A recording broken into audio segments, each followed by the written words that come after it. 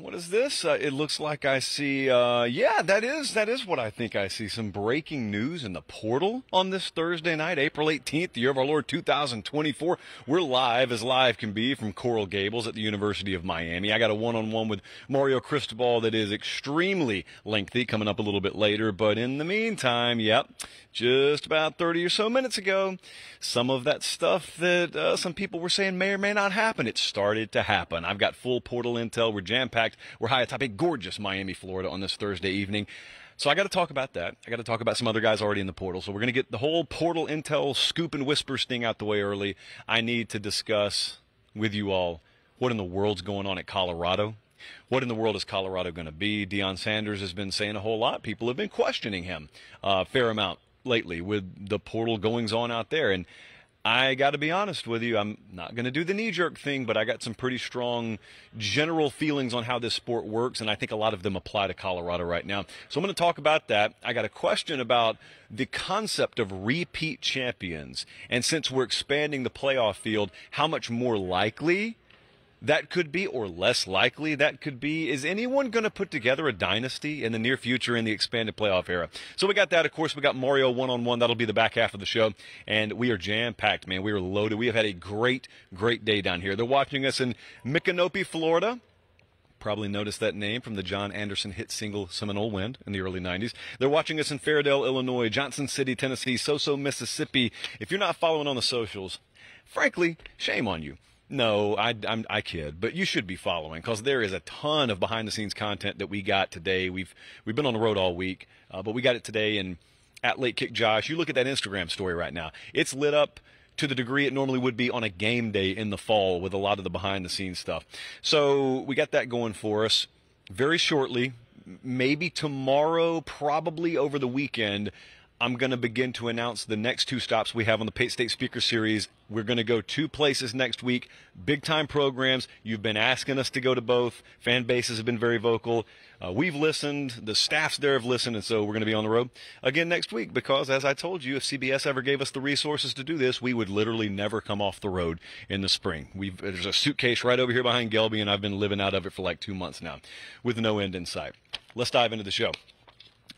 Transfer portal got a little bit spicy on this Thursday evening. Breaking news just in the past hour or so, and it's out in Tempe, Arizona, actually, at Arizona State, where Jaden Rashada is entering the transfer portal. Now, you remember the front end of his recruitment. You remember goes to Florida, looks like he's going to Florida. That whole thing falls through, ends up at Arizona State. And so last year it was really up and down, had some injury concerns as well.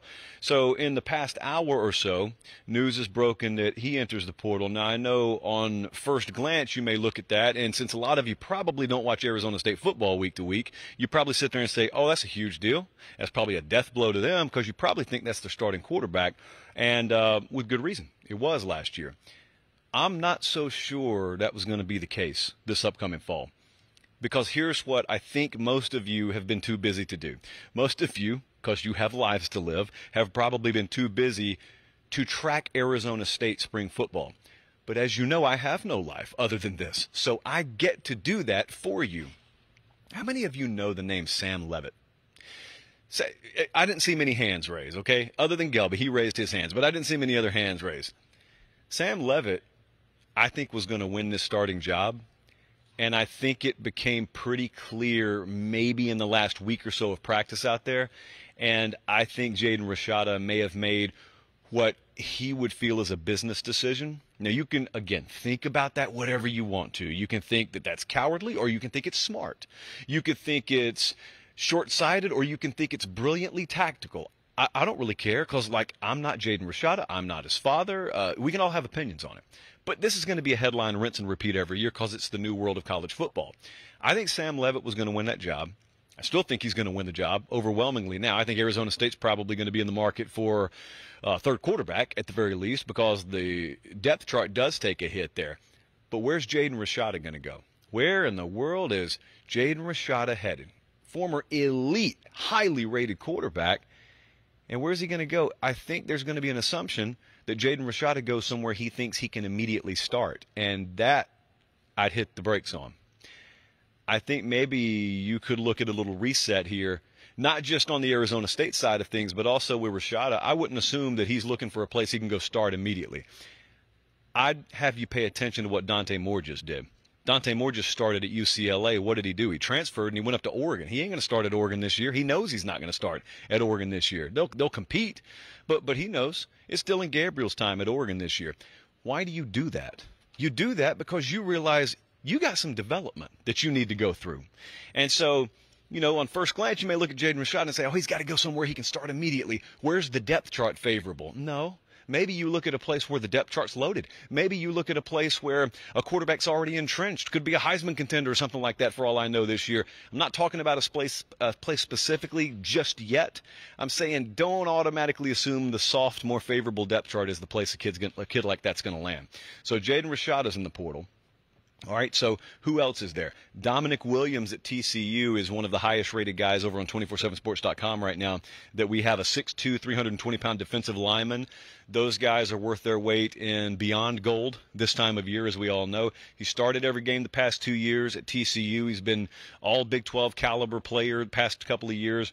Oklahoma and Texas are in here, and I'm banking very heavily on this weekend being a big weekend for them. They got the spring game this weekend, which, according to our dutiful reporter in the field, Gabe Ikard, is still on. And I know they've got, I think they've got him in there, and they got a couple other guys they're targeting. So Dominic Williams, let's pay attention to him. Keandre Lambert Smith was Penn State's leading wide receiver last year. And because it's still pretty light in the portal when it comes to the wide receiver position, his name is at a premium.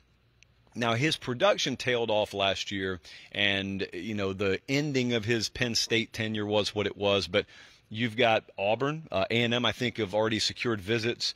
West Virginia's been mentioned here. Colorado's been mentioned here. I saw Georgia mentioned. I don't think Georgia's going to factor in it with him. At least that's not what I hear. Uh, so that's the latest on him. Jason Zandamela was the interior offensive lineman out there at USC. Now, this one's interesting to me. I had some people reaching out throughout spring, and it was starting to become pretty well known. He wasn't long for USC, just some call it complications with NIL to be very broad, uh, because it is what it is. But he wants to get back closer to home. Home for him would be in the state of Florida.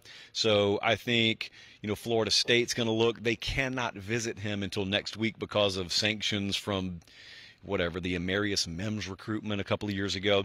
Uh, but Florida State, I think, will factor there. We're at Miami today. I kick the tires around here. I think they'll factor there. I I don't get the sense that this is going to be some knockdown, drag out war. U, UCF probably factors in here as well. Good player, good player. I'm not trying to downgrade him, um, but not necessarily sure this is the kind of recruitment that you're going to see headlines on every hour on the hour, if that makes any sense to you. What about Cormani McClain? Since we're in Miami, Cormani McClain, former five star defensive back from this neck of the woods, doesn't land at Miami, lands at Colorado. It's one of Deion's big gets. You remember that. And then Deion takes to criticizing his work ethic and takes to criticizing his preparation and how committed he was. And this was last year. Uh, because a lot of those kids, when they were brought in, they were not brought in to develop. They were brought in straight out of high school to play. And some of them did, and some of them didn't. And some of them have hopped in the portal, and Cormani McClain's now one of them. Uh, tough love. I, I, didn't necessarily have a problem how Deion handled that. I think we talked about it on the show at the time. But he's the number three available player in the portal. Now, they don't include me on portal rankings. I'm not sure I'd have Cormani McClain that high. Has nothing to do with his physical skill set. I just wonder from the neck up. Where is he? Literally, I wonder. I don't know. I haven't evaluated him myself. But, you know, if he's prepared, if he's ready mentally, he can be a big time player. USC's been mentioned there. Uh, I think if he tries to come closer to home, if he tries to come back to Florida, not sure Miami is involved there uh, this time around. Just that's my feel on it. Um, USF, though, could be a very interesting landing spot. Uh, Demarcus Van Dyke, who, friend of the program, first off, who was at Miami at the time they were recruiting him. He's now over in Tampa with Alex Golesh and company at USF. They could figure prominently, and I mean that would be. I know our buddy Cole Cubelic doesn't like this language. That could be a grand slam. He doesn't like us saying home run, so forget about that. We're loading the bases. That would be a grand slam for them. So let's keep an eye on that. Also, Damian Martinez is a running back that was at Oregon State. Now we went and saw Damian Martinez in person last year on the Once Upon a Saturday tour he's good. Two time All Pac 12 and is in the portal now. and he's got Arizona, Mississippi State, Tennessee, Kentucky, Miami all there.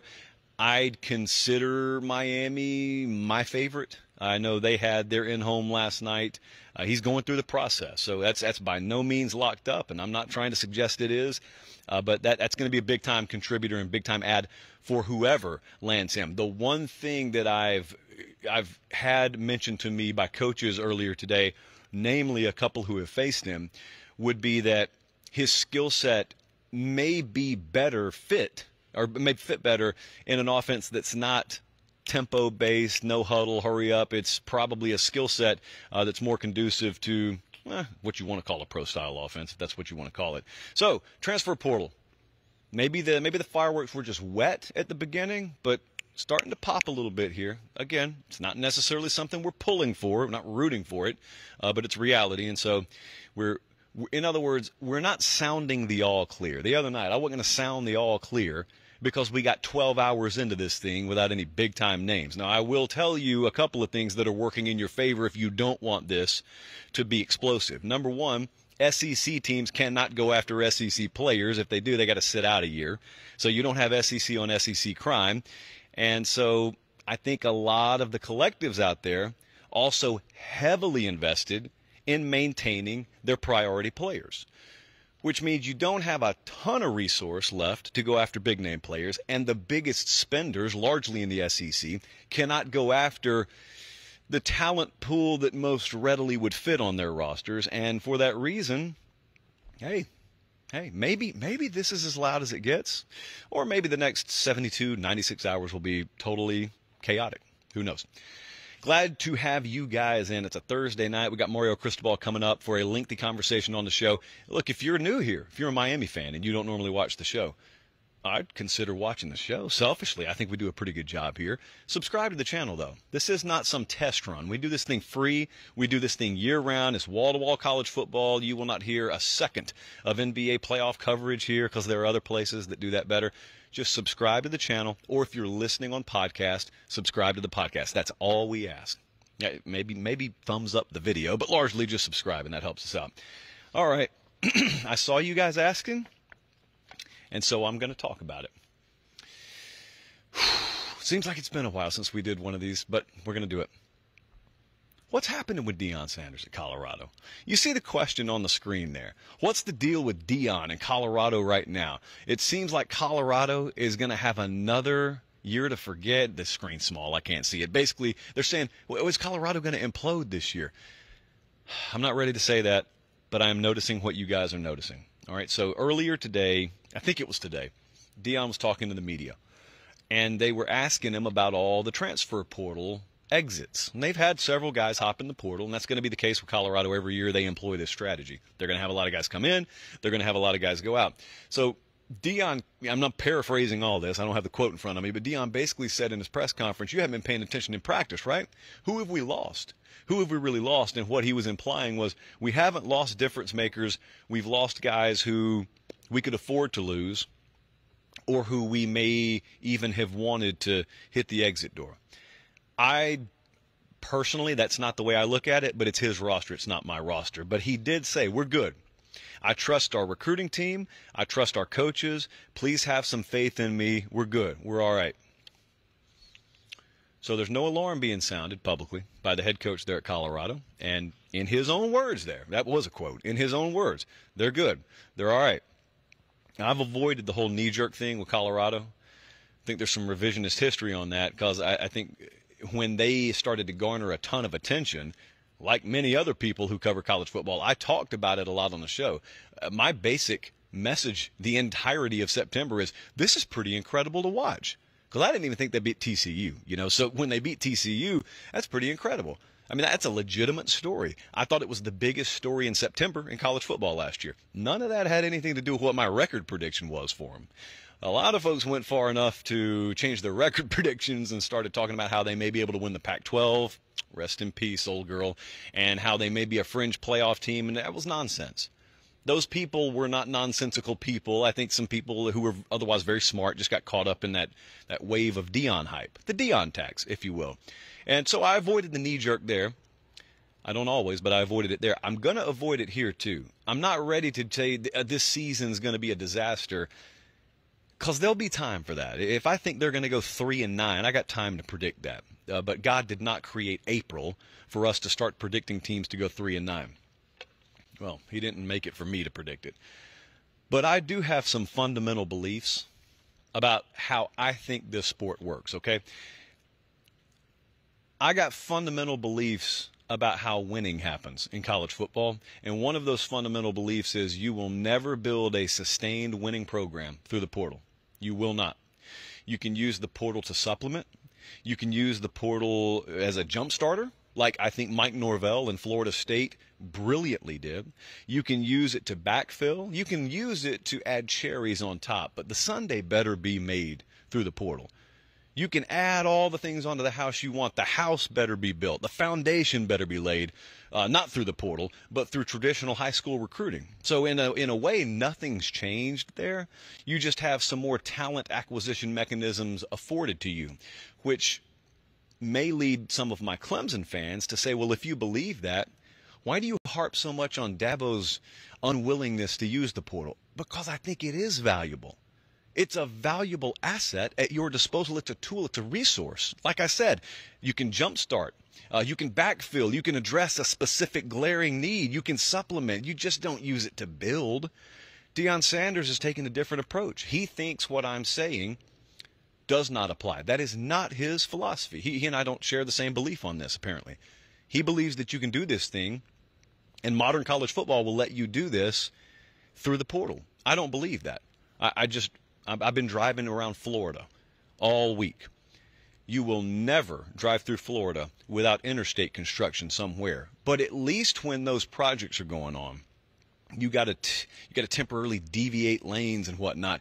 At least there's an end goal. Like at least eventually that interstate's going to be completed, only for another project to, to take effect for the next ten years. But what what they're doing is like that that never stops. Like those temporary lanes that's just the interstate. And hopefully it works out every single year. And i just don't think that's the way i could ever expect it to go down. And i'll tell you this too.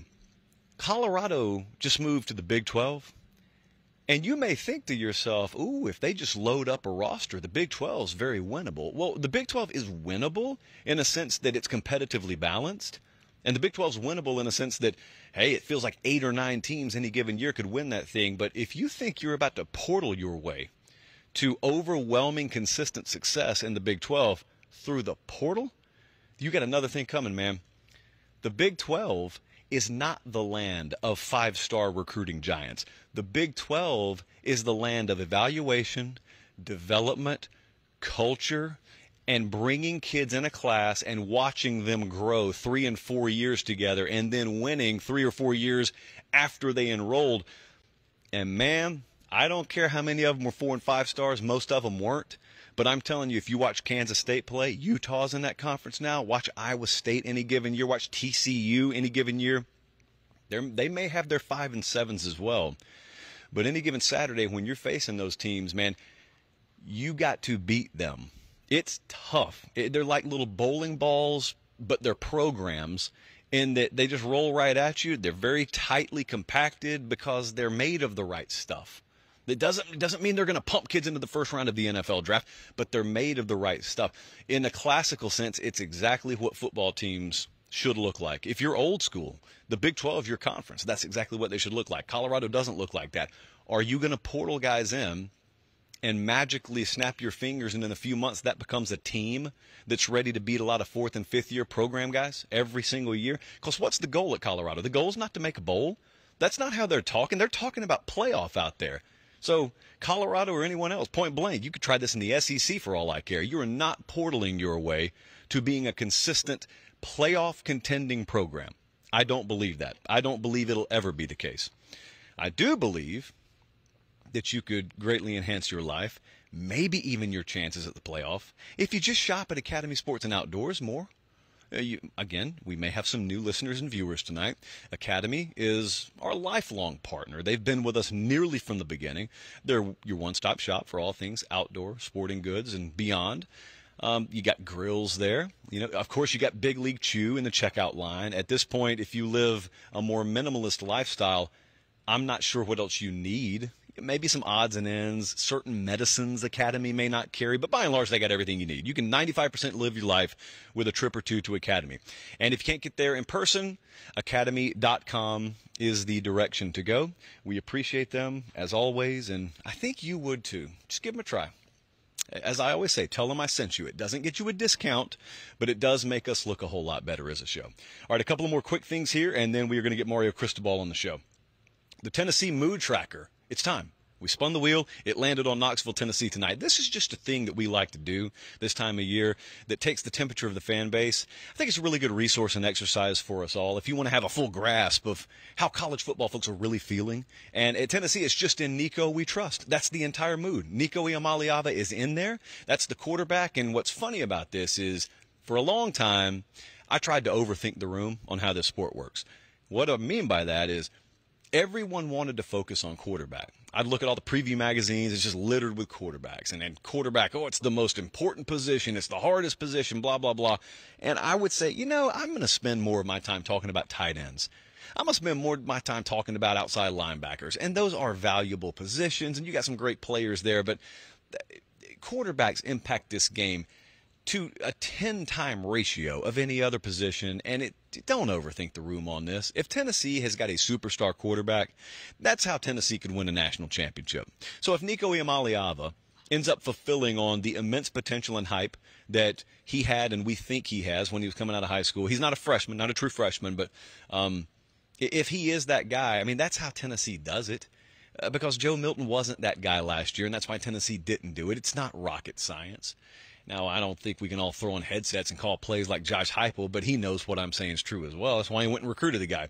That Bama 2022 game, I think, broke down a lot of mental barriers there. Tennessee fans know exactly what I'm talking about, but there were just some things that you had you had conditioned yourself to think wouldn't change until. And after the word until, when you filled in that blank, it was until we beat Bama. 15 years in a row is a long time, man. You got kids with learner's permits that weren't born the last time they had beaten Bama. Well, they did it. And it, it's not that they won the SEC that year. They didn't even play for it. But what it did is it cleared this gigantic mental hurdle that allowed people to start thinking bigger around there. And with good reason, you should. I've never bought into the notion that Tennessee all of a sudden became a program that couldn't do this or that, couldn't win the SEC, couldn't make the playoff. They just haven't. They haven't because they haven't been good enough at head coach. That also is not rocket science. Their over under win total is nine and a half this year. That's equivalent with Alabama. That's equivalent with LSU. That's equivalent with Ole Miss. These are teams that will be mentioned in the SEC championship picture, which means Tennessee should be mentioned in the SEC championship picture. Very simply, that will depend on how good a quarterback Nico Iamaleava is. It sounds like fundamental fifth grader logic it is. Some fifth graders are pretty smart, by the way. They had their own TV show for a long time, hosted by Jeff Foxworthy, who frequents Harris County restaurants, mind you. Um, they they feel to me like a just get in kind of team in the expanded playoff era. By the way, I used to I, I love Major League Baseball, but back in the day in the four team playoff era in baseball as well, I really loved Major League Baseball in the regular season. It always aggravated me that the structure was such that the Braves could win 103 regular season games and the Astros or Marlins or someone get hot at the very end, and then all of a sudden they're the team you don't want to face. Well, is there a program that becomes that way? Is there a program that's good for a couple of regular season losses, but when they get in the playoff, all of a sudden it's like lightning in a bottle? If there is that program, Tennessee feels like with this kind of quarterback, they could be that sort of program.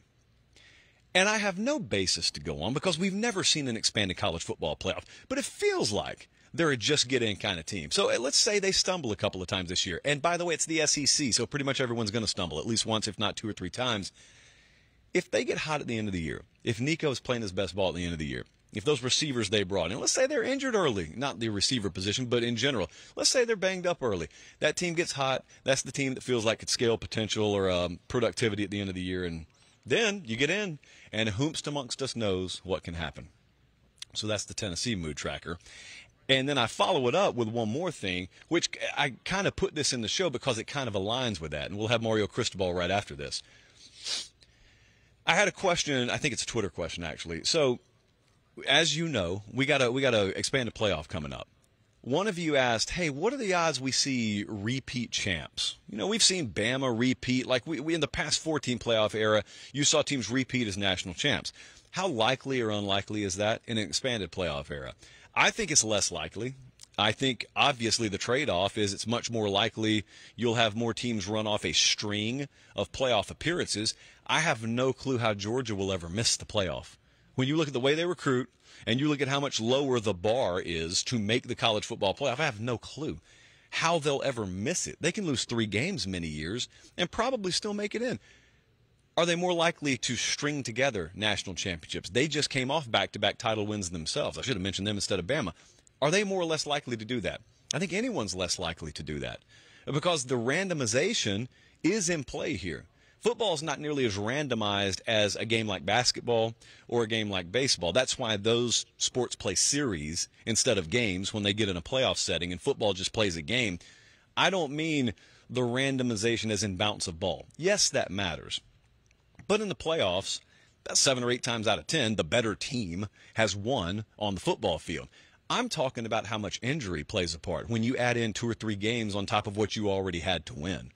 And then you add in all the other stuff.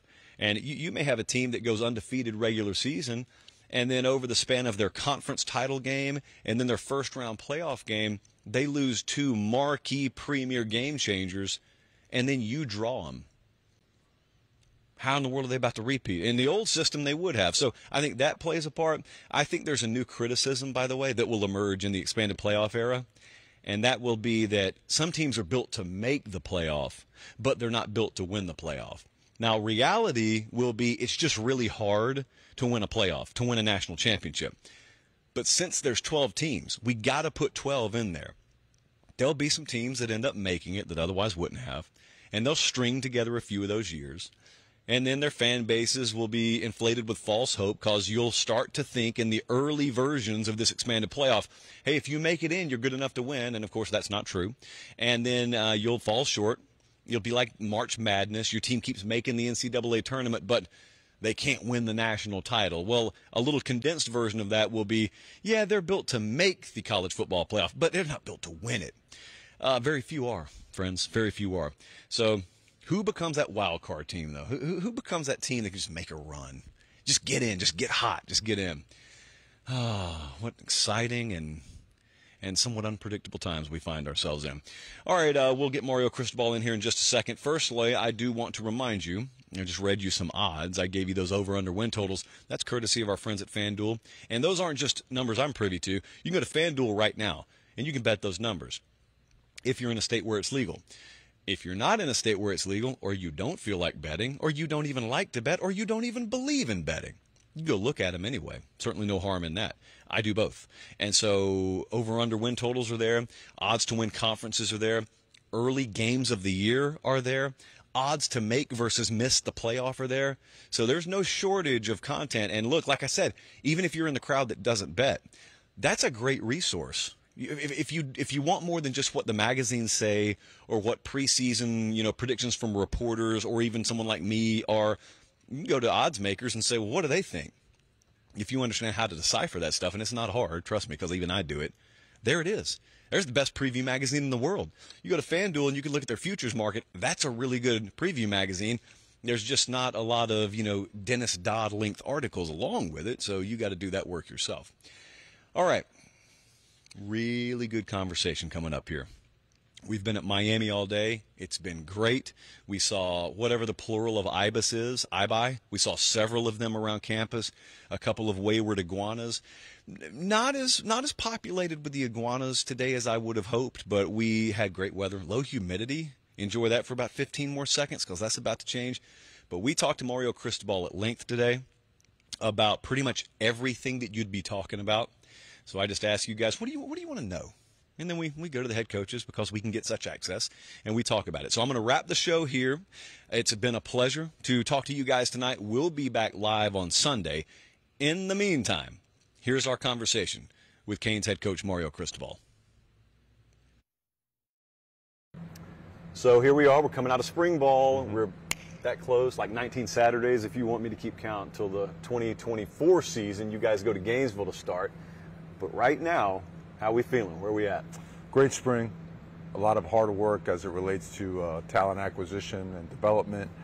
Uh, continuity with our coordinators um, has led to just a lot of progress uh, to build upon some of the progress we had last year. So we feel strongly about our team. We feel strongly about our culture. We feel strongly about entering portal season and, uh, you know, adding a couple pieces here and there. So uh, it's the momentum within the walls of this building uh, could not be stronger. Now, this whole thing's interesting. This the, the whole concept that you could add starting pieces to your team after spring practice. You could lose starting pieces after spring practice.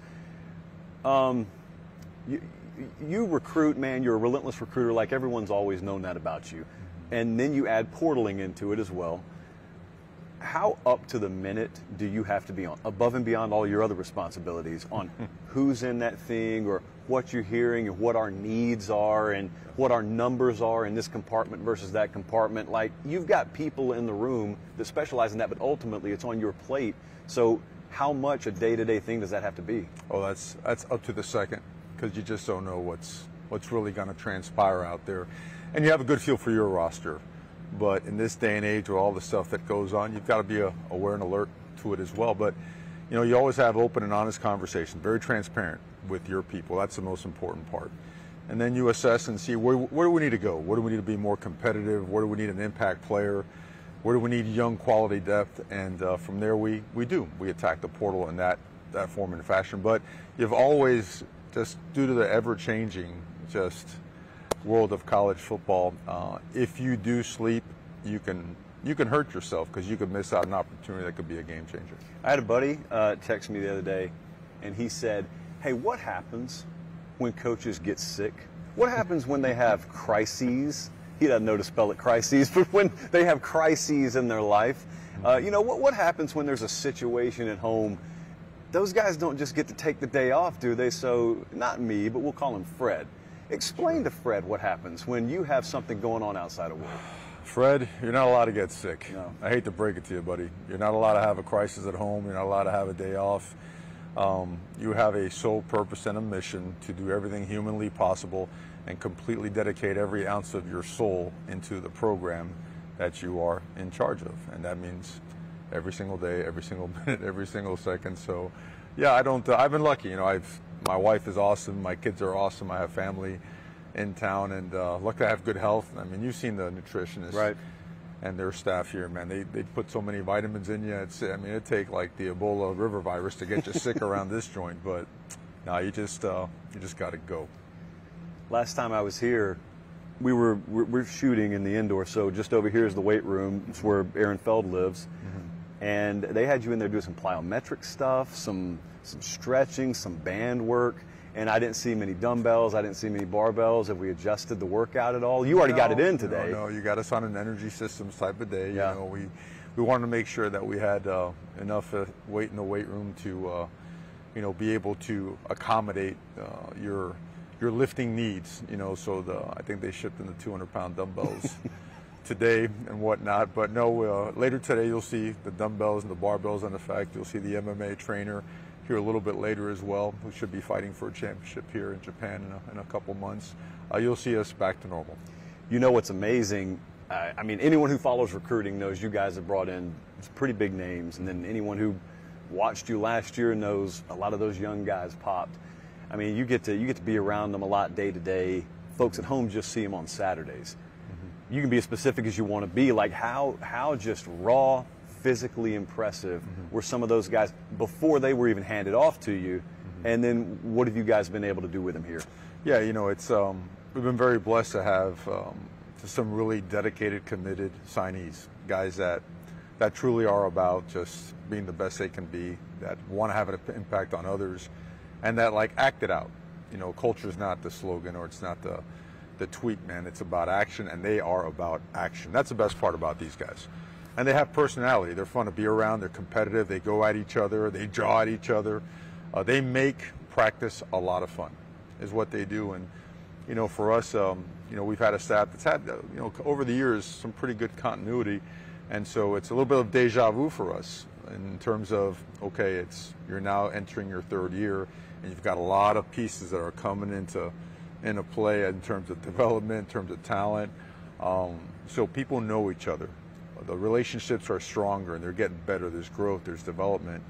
Um, so they make every day a lot of fun. They make it really, really exciting. And you know what? It um, we already pour our hearts and souls into this, but it makes you want to pour that much more because they want to do great. They want to win. Uh, they want to do great things. You played here when Miami was at its apex. Mm-hmm. You could call Miami like an apex predator of the sport. Mm-hmm. You've then been elsewhere and you've watched Miami fluctuate a little bit. You've now come here, you're the head coach, you're a few years in now. Um, it doesn't take long for a generation to happen. Right. Maybe a 10 year period, let's say. And so when you get a couple of generations removed from, from like that brand being known as elite, you still remember it. I still remember it. You played, you, you actually lived it, but a 16, 17, 18 year old kid, you got to actually tell them. You got to actually point to the banners on the wall. You got to actually pop on the footage and you got to watch the confetti rain down the trophy case. Hey, this happened here one time. Mm-hmm. Before you ever start, you know, selling guys on this being the place for you, do you ever have to sort of educate on this is what it can be. This is what it was before. I don't care what it's been in your lifetime. This is what it was before. Is that ever kind of an educational opportunity you have to afford kids when you recruit them? Uh, absolutely, and I think um, you know a lot of them do know, and they they've seen enough video and they've seen enough other highlight tapes and whatnot. And you know, for me, it was real simple. It was like I know what Miami is and should be. I was a very uh, fortunate young man to be a part of it, and so you know when you're at a distance and, and fortunate to have success at other places, you know, it it hurts you. It does. We're finally like enough is enough. You know, we're only on this earth one time, and and just could not go to the grave without getting back to Miami and being a part of making Miami what it should always be. And that's what we've been working on relentlessly. And also knowing that there's work to do. Miami didn't slip overnight, you know, and that you're going to have to invest an extraordinary amount of time and resources into getting it right. And now we feel we're very, we're getting very close. So the best thing for these guys is when we have practices is watching our alumni interact with them. Sometimes during practice, we have to pull them off the field as they're trying to jump out there and coach. But uh, I think a great example was Michael Irvin at our alumni reunion this weekend when uh, the gist of the message was about the work, how much harder practice was than game day, and that's what gave Miami that competitive edge. But he also went to the extent of saying, hey, look, if you're not about winning, you can't be my friend. You know, if you're not willing to hold yourself and others accountable, you really can't be a part of it. So I think it's uh, with all the noise that goes on in the world of sports, I think it's important for them to hear a guy like that say, hey, are you going to listen to, to us as former players and Hall of Famers, or are going to listen to the noise? And it, you know, the answer to that is pretty simple. So you said you feel like you're getting a lot closer to where you want to be. Mm-hmm. Outside world sees five wins the first year, seven wins the second year, and that's really all they have to go on. So aside from the record getting better, mm-hmm. open up the hood for the program. What's different now, and how different is it than a year ago, and how different could it be a year from now? Sure, the natural progression of a program when you increase the caliber of talent coming in the building, when you go to a strength and conditioning program and a practice regimen that's extremely uh, developmental, one that was used here, that was um, was used when I was an assistant coach at the University of Alabama, um, that we took out to the University of Oregon and used there as well. I know a lot of other programs uh, have been have used that blueprint and have had great success, um, and it's been implemented here. And the development of the players, along with some staff continuity regarding systems or whatnot, just leads to consistent progress. And there's so many areas that we progressed at last year to become a competitive team. Uh, end result of every game wasn't exactly what we wanted, but some there were. We won some battles that maybe you know Miami was not expected to come out on top of, and it was just all progress and inching more closer to what we want to be. Now that being said, everyone recognizes the amount of work that has to be done going forward. So another year, another off season, another spring, uh, a great class, some great portal additions, and then culture, culture, culture. Just not talking about it, just working, man. Just going to work, just shutting up, cutting out the outside noise, and going to work on what we know works for Miami, and worried about nothing else. I don't ever question you guys are serious about culture here. You, I mean, I walk through the building, so I, I see it and I feel it pretty quickly. Well, when you're trying to recruit a guy, you've got a long runway to figure out whether he's about this or whether he's not. Mm-hmm. When you're trying to get a guy out of a portal, sometimes it's 24, 48, 72 hours. How do you figure out whether they're a good fit or not? You've got to have someone or a group of people that know that particular young man.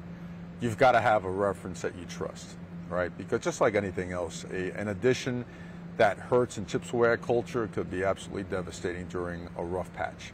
And one that actually enhances it and one that, uh, that you can trust amongst your players. And now we feel very trusting in terms of that if there's something that's a little bit off, that our players could bring it to cultural standards. Uh, but that being said, I never want to burden them with having to be the ones to do that. It's our job to make sure that we vet everything. So we bring something uh, to sit beside them in the locker, to practice with them on the field, to go to, into games on Saturday that they can trust themselves. What's something since you've been the head coach here, not at the core, like the core philosophy never changes, but what's something maybe just on the periphery of that that you remember looking at, taking it, taking a long, hard think on it, and saying, maybe we should tweak this, or, or maybe 20% change over here could do good. It could be something about you personally or about the program as a whole. Is there anything that you remember looking at and saying, yeah, we need to modify that a little bit? You mean upon arrival or over the. Since arrival here to present day. Gotcha. Well, I think we're, we're always assessing every part of it, how we do everything, whether um, it be our off-season program, our regimentation, how we call plays, what we call our self-scout, you know, what are we? What do we look like on tape? What are our tells? What are our opponents doing to attack us? And why are we doing well in this and not so well in that? So we take a deep dive into that and certainly study the teams that have done the best both in college and in the NFL to make sure that we, we just find an edge somewhere, somehow. Uh, in terms of the DNA of our program, we always want to enhance that. The best way to do that, in our opinion, is to get to know your people really, really well. And so we do. We take a deep dive into our people and do our best to always increase the, the strength of the connection, you know, the strength of affiliation, of care factor within the program. Uh, and what we have found out is that the more time you spend around people, right, the more people realize the importance of time, and there's nothing more important you can give someone than your time. So we feel like this group has become really tight um, with a chip on their shoulder with a lot to prove, and I think the staff feels that same way. So um, this offseason has been really, really good, really strong. Uh, we just we haven't played a game yet, so we don't get ahead of ourselves and and get into uh, you know over over pushing and over hyping certain aspects. We uh, we're really, really excited. I've always said if you could take a person off the street and put them in a in an off-season lifting program, go through spring ball, go through summer conditioning, even if they didn't have the God-given ability, if they could just exist in that environment, all of them would feel like a million bucks, and all of them, if they had any kind of mental toughness about themselves, mm-hmm. they'd be ready to go conquer nations come fall. Then, if they're trailing 17 to six at halftime of Week One in the locker room, mm-hmm. they'd be they'd be devastated and they'd be shell shocked how do you make sure guys mentally are programmed to where you know you challenge them enough in this setting mm-hmm. here to where when it actually doesn't fully go your way in the fall, you're not rattled. Like guys keep their composure right. and you're getting the same kind of efficiency out of them. Yeah, no, it's a great question because you can talk it all you want. You could show all the highlight films and all the teaching tapes about, you know, this is, uh, let's talk about situational football and if this happens, that's fine. And you know what? And I love our strength and conditioning program. I put it up against any any program in the country. But the weight doesn't push back. You know, the the intervals they don't they don't push back. Out there, it's human resistance, right? So the only way we know how, and we've ever known as as players, and in fact today, Coach Dave Wannstedt, our defense coordinator back in the day here at Miami, he came by this morning, and we were talking about that. It's with all the things and all the you know the books and the templates and all the you know all the teachings and sayings the one thing that always stood the test of time was the way that you practice. And and I think the value and um, I would say the uh, the caliber of a good football coach by position, coordinator, or head coach is by his ability to construct and organize a great football practice because that's the only way to get true testing as it relates to human resistance, right? To something fighting back, pushing back, creating the type of physical, mental adversity that's going to show up. You can't simulate, you know, 80, 90,000 people, you know, throwing all kinds of stuff at you and yelling at you. But you can simulate that gut wrenching, relentless pounding of a tempo offense, or you can replicate, you know, that that fourth and one situation when a guy is dead tired after going a 14 play drive. You got to do it out there. So it's on us to duplicate those scenarios and situations as much as possible. What's wild is if you're in a competitive setting in the business world mm-hmm. and someone embarrasses you, someone runs circles around you, you can go hide in your office. You can sit in the parking lot. You can take a sick day the next day. A DB gets beat no. and looks foolish and has to be there again 18 seconds later. And to me, like I'm now talking personally, a DB's ability to have a short memory and to be 100% and fully engaged mentally the following play. Like, I don't know if that's something many freshmen walk in the door with, and some, sometimes maybe guys never have it, but the ones, and you've, you've actually played on teams with some of the great ones, the ability to have a short memory, that position or any position, yeah. is it's fascinating to me when guys possess that. Yeah, they, they just don't care about that last play. They just don't care. They're just focused on kicking somebody's you know what. And those guys, and as many of those guys you can have on your roster, the better you'll be off because all they care about is that next play and whooping somebody's butt, you know. And that is, you know, we seek that mentality. You know, when we um, when we have unofficial visitors, we like getting them here around practice and watching like a real deal up close and personal, like get after it, practice, because it attracts you or it, you know, makes you maybe go somewhere else because it's not your cup of tea. So um, these games are going to be settled right up front on the perimeter, but it's going to be settled in some type of legitimate competitive battle that's going to, you know, the game's going to teeter on, and you've got to have guys that truly can just focus on that one particular moment to have them to have them have their best chance of success. You know? How how common is it to have a guy you're recruiting check all the physical boxes, looks amazing, you wouldn't change a thing about him if you could, but when you start that evaluation of the neck up, he, he doesn't have it, and you're so mad because you wish you could take a two-star bot or two-star head and put it on top of that five-star body.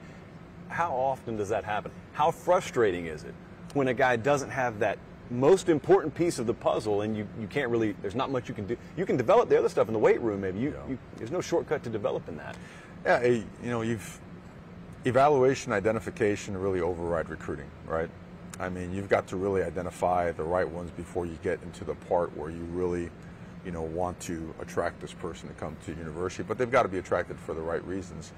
So you, you really got to find that out. And the only way to find that out is to go watch practice. Hopefully, watch a game where they're ahead by a few or behind by a few, and watch that reaction. But how frustrating is that? Um, man, you know, it's. But at the same time, you know what? Part of recruiting is as important to eliminate prospects as it is to fill that board up with the ones you're going after.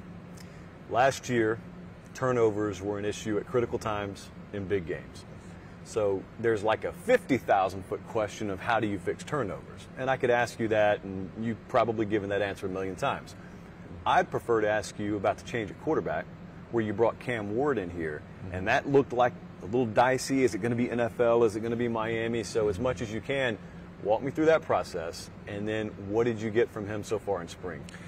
Uh, that was a very interesting and new recruiting experience process. It was no longer competing against other schools; it was competing against the yeah. NFL. So um, we um, Reese as well. Reese is a, is a, great player coming over from Albany, and he was on his way down. And Cam, um, he had chosen to go to the NFL. You know, so uh, but we stayed on. You know, we stayed on relatively consistently and trying to figure some things out. And it was um, I don't remember exactly. It was 6:42 p.m. You know. I don't remember exactly the second, but the minute You was 6:42. but he, uh, I see a FaceTime coming in. I'm like, man, what does this guy want? You know, better not to be to, to rub it in about his, you know, NFL workouts and whatnot. And get on the FaceTime, big old smile, and he says, I want to be a Miami Hurricane. And it's like, we're announcing this like now, all right? This is going to be point of no return, but um, there was a connection there from the beginning. I think everyone felt it was right. It was a matter of is this going to happen now? Is it going to happen later? Because it feels right, and it ended up happening. And what we've got um, ourselves a tremendous blessing, first and foremost as a human being and as a relentless competitor, because he's an alpha, okay, and an alpha at quarterback is a game changer. If you watch the film, you'll see all the the great things he does. I'm, you know, I've spoken uh, just volumes in terms of his ability uh, to make things happen, extend plays, explosive plays, see the field, make great decisions, all that stuff. And we can go on and on about the tangibles, all the intangible stuff. His ability to just lead, to be a true field general, to play with just practice, I should say. We haven't had a game with him yet, but to practice with that type of just to have those kind of guts and confidence and demand that of his teammates and teammates demand that of him without any sensitivity getting in the way and not allowing anything to get in the way except performance. Um, he's, he's got all of us really, really fired up. I think it was interesting. I was down here a few weeks ago, three weeks ago, I guess it was, and watched practice. You guys are in the middle of spring ball at that point, and he's out there, and it's he stands out. I mean, it's it's pretty apparent pretty mm-hmm. quickly. And we went off to the side. We watched some cut ups from all 22 of him, and you didn't have to say a word. All you did was he'd make a throw, he'd fit a window, and you just kind of look at me, nod your head, next, nod your head. And I'm sitting there thinking to myself, although football doesn't work this way, if I were to have inserted that ability on last year's team, I don't know how different the wins and losses look, mm-hmm. but he's going to be, God willing, injury notwithstanding on this year's team, mm-hmm. he's going to be involved in inevitably some one possession games either way. Mm-hmm. And seven and five versus ten and three, in terms of a coach's reputation, there's a gulf between it. But really, it's just a bounce here, or a drop ball there, or a turnover here. And I don't know, I don't know how close you feel like you guys were last year. Mm-hmm. Do you feel like you were better than your record said you were, or mm-hmm. worse than your record said you were? But I, the margins of this game, being as small as they are, mm-hmm. what does a presence like that, along with the rest of the roster elevating, mean in terms of potential? Because that's all it is in spring potential. Yeah, it's oh, it's a massive addition. I mean, let's call it what it is. Um, I wish, I wish you could see this part is after practice, how he rounds up the receivers and go and go right to the film, go right to it and talk through it, or stay out here with them, or they grab him and they're talking about this particular concept against this coverage. What am I seeing? What am I expecting from you? Well, I saw this, you saw that. Well, this is how we're going to do it. Just very directive oriented, uh, very just alpha in terms of that. And then go back to this last week, and he's got all the linemen just eating every ounce of food in the city of Miami at his house. You know, like um, he gets it, and it's it's been it's just been a very strong, welcoming presence for our team, uh, and it's backed up by his performances in practice. You guys, um, obviously, you had a lot of young guys here last year that you had to rely on. I assume you probably will play a lot of young guys again this year. Absolutely. Um, what, what if anything? I'm not asking you, do you sacrifice your standard? You never do that. But mm-hmm. are there some things fundamentally that you change when you know we're going to have a lot of guys on the field that haven't been here four or five years? It, it may be that we load them up with less, or it may be that we call a certain thing a different way. What, from a coach's perspective, changes when you know average age on this team is far younger than some years I've been a coach? Sure. No, I.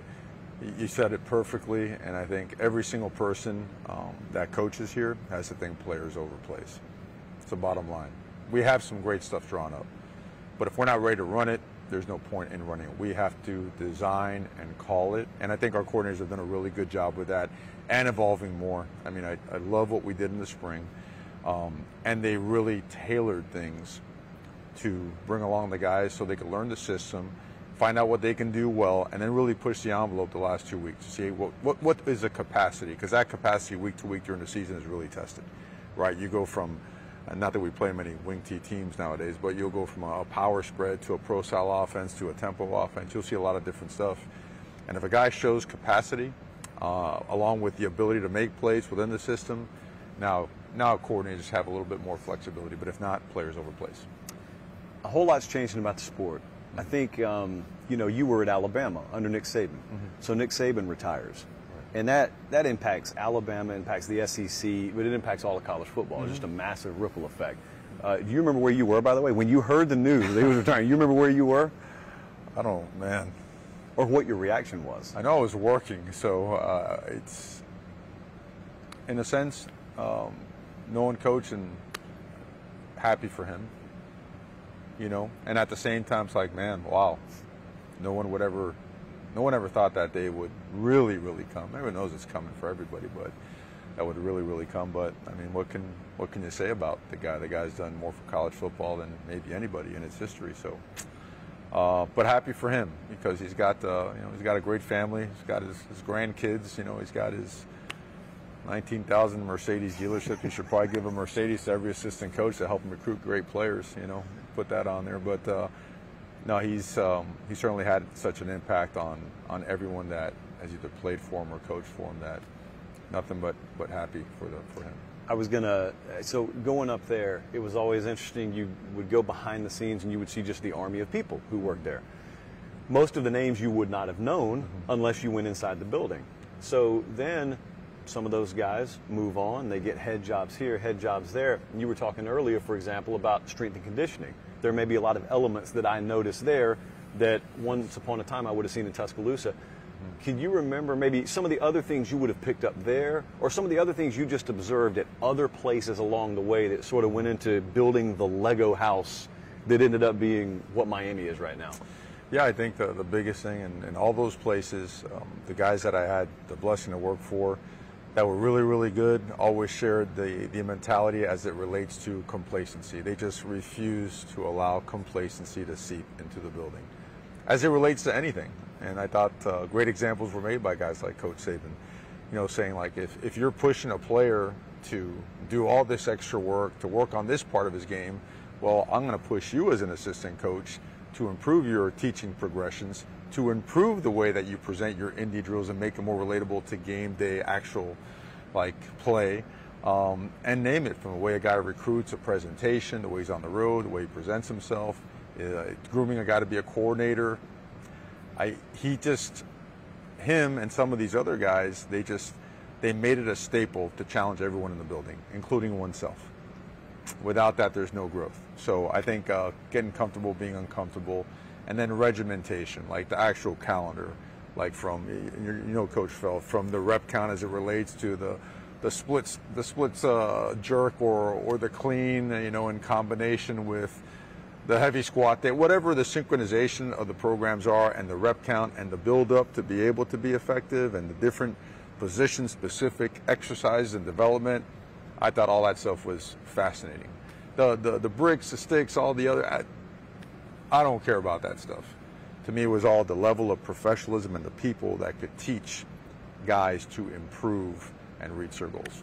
So you guys are really, really bunkered in football 24 7, 365, which I appreciate because that's all I talk about all year. So it really works out for me. Do you have, what kind of level of awareness do you feel like you have mm-hmm. on things going on outside the football world? Oh, I don't care what it is, world issues, political, whatever. Like how, how out to left field do you feel like you are on just stuff that other people are consumed with? Because I get lost, mm-hmm. I don't mm-hmm. know what's happening, and I don't have a fraction on my plate that you have on your plate. Yeah, I mean, I get a briefing, you know, at the wee hours when I get home, and, and the wife says, "Do you realize blank?" I'm like, "No, thank you for letting me know," you know, or uh, or I get a text from, you know, a college teammate, you know, or uh, you know, any a former coach, you know, from. From a famous wrestler passing away, you know, to um, to an event from a family member or a teammate or uh, something happened on in the community. It's uh, it's just it, the job has changed. Yeah, it just consumes. If you want to do it right, if you want to do right by the players, if you want to give your assistant coaches a chance to maximize their abilities as a head coach, and that's that's my belief. I'm not saying it's the right way, but you, you need to completely entrench yourself to use every minute you can to make things better for all those around you. You got both coordinators here again this year, mm-hmm. and this time last year, you you could not have been more effusive in your praise of those guys, both Louisiana guys that you brought in, mm-hmm. and they talk like it and they feel like it when you're around them, and now they're down in South Florida. But year two, tangibly on the field, what's the difference? How big's the impact there? Well, you know, they both, I think respectively, we jumped anywhere between 60 and 80 spots, you know, total offense and defense. Um, and in just about every area, of massive improvement. And the areas that Sony worked third down and red zone can really put us over the top systematically and as an organization. Them having an entire offseason and a spring, a chance to self assess, uh, for us to get together and really just cross examine. Uh, I, it, very few things are as important as whether it be system or people continuity. If you could have both, great. If you could have one, it's still ultra valuable. This year we got both of those things. Uh, it's awesome. Those guys are elite human beings, uh, elite coaches. I love what they've done in the spring to continue to help us to evolve uh, and to be more connected to our players as well. So looking forward to a great year from both those guys. Who, pound for pound, who's the funniest guy on that staff right now? I don't know if anybody's funny. You know, I mean, wow, wow. I uh, man, you know, it doesn't it doesn't strike me. They all got a lot of energy. They all work their their tails off. Probably some of the GAs, some of the analysts, um, they probably have a little bit more personality. Um, man, funny. I don't know. I can't say I've heard a good joke from them in a long time, but they, they bring great energy. So they're awesome. That people. makes up for it. Yeah, I, you know, no one strikes me as a Rodney Dangerfield type in there. So when you come out of spring ball, aside from the usual things that are non-negotiables every year, mm-hmm. if I were in your office and there was a grease board and two or three big bullet points for 2024 were on it, what are those things that you think will make the difference with this team this fall? Just two. You can go three if you want. You know what? We got unlimited film. It's a digital world now. You go all day if you want to. Mm-hmm. Man, we've got. The, I could show the grease board later. I could show you the, the bullet points that we took. You know, we we had some things that had to become second nature for us in spring football. You know, and uh, as it relates to to football itself, securing the football. You mentioned earlier from a turnover standpoint, we didn't secure the football well enough, and we didn't create enough turnovers. So the ball itself, ball disruption and ball security, we're at a premium. The second part is the way we played the game was inconsistent, you know, and this has to be a team that all the time plays to its absolute max capabilities from an effort standpoint. A team that, that has talent, um, but that doesn't have that consistently is going to show up inconsistently on Saturdays. But a team that has talent that can play that hard is really hard to beat and we want to become that team by practicing it, by upping our strength conditioning program and everything else that goes with that. And then, of course, the culture. I mean, Michael Irvin said it best the other day when he said, if, if you're not about winning, you know, you can't be my friend. You know, I mean, he took it to the extreme. Uh, but we all knew what he said. You know, he wanted to make it clear to, to everybody here that when you when you wear that that U on your helmet, when you wear it on your shirt, it's a way of life. It's how you do anything, it's how you do everything. You want to make it clear that accountability has to be about action. And a player led team can take an organizational program to new heights. Let's go get some Cuban food for lunch. Mario Cristobal, we appreciate so, it, man. You got it.